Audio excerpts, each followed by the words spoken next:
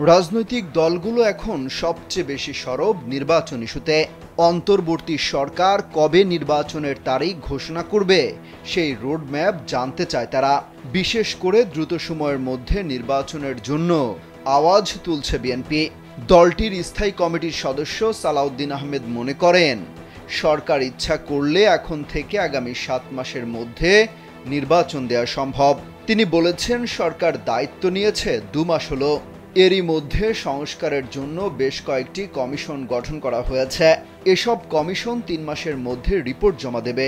কমিশনের রিপোর্ট পাওয়ার পর এক মাস রাজনৈতিক দলগুলোর সঙ্গে এ নিয়ে আলোচনা হতে পারে।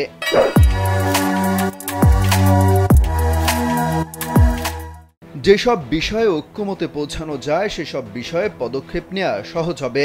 কিছু বিষয়ে রাজনৈতিক দলগুলো জাতির সামনে অঙ্গীকার করবে। সংবিধান সংস্কার সহ যেসব বিষয়ে পরিবর্তনের জন্য নির্বাচিত সংসদদের প্রয়োজন হবে। সরকার ইচ্ছা পোষণ করলে রাজনৈতিক দলগুলোর সঙ্গে আলোচনা শেষে পরবর্তী তিন মাসের মধ্যে নির্বাচন অনুষ্ঠান সম্ভব। এর জন্য নির্বাচনের প্রস্তুতি এখনই শুরু করতে হবে। দ্রুত নির্বাচন কমিশন গঠন করতে হবে। এসব তথ্য তুলে ধরে একটি প্রতিবেদন প্রকাশ করেছে দৈনিক মানব জমিন